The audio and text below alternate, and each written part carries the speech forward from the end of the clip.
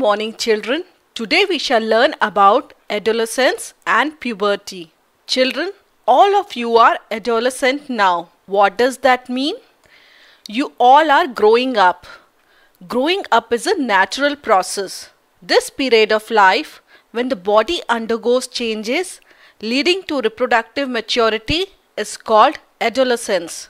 Adolescence begins around the age of 11 and lasts up to 18 or 19 years of age. That is why all of you might be adolescent right now. Correct? Since this period covers the teens, that is 13, 14, so on till 19 years of age, adolescents are also called teenagers. You know, in girls, adolescence may begin a year or two earlier than the boys. Also, the period of adolescence varies from person to person. So, don't worry if you think that you are growing a little slower or faster compared to your classmates. Our body undergoes several changes during adolescence. These changes mark the onset of puberty. The most important change which marks puberty is that boys and girls become capable of reproduction. Puberty ends when an adolescent reaches reproductive maturity. Thus, puberty is very important stage of our life as we become an adult through puberty. So, today we shall learn how our body changes during puberty. Boy just starts to look like a man and girl just starts to look like a woman. Now, you must be curious to know what are the changes at puberty? The most visible change during puberty is the sudden increase in height. At this time, the bones of the arms and the legs elongate and make you tall. With the onset of puberty in boys, you can see the shoulders broaden and the chest widens. In the girls, the region below the waist becomes wider. In boys, the muscles of the body grow more prominently than in the girls. You must have observed sometime the voice of some of the boys in your class cracks. Why? At puberty, the voice box or the larynx begins to grow. Boys develop larger voice boxes. The growing voice box in boys can be seen as protruding part of the throat called Adam's apple. Many of you must be having pimples right now. Babies don't get pimples, but we get pimples during teenage. Why? Because sebaceous glands which is actually an oil gland in our skin starts releasing more oil. This oily substance gets accumulated under skin causing pimples. Sweat glands, oil glands release their secretions through ducts. If pores on the skin gets clogged by dirt, then chances of pimples increase and this oily substances get accumulated more easily. So, keep your skin clean and there shall be less chances of getting pimples.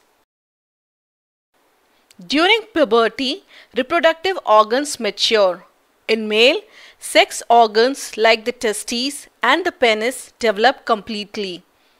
Testes start producing sperms.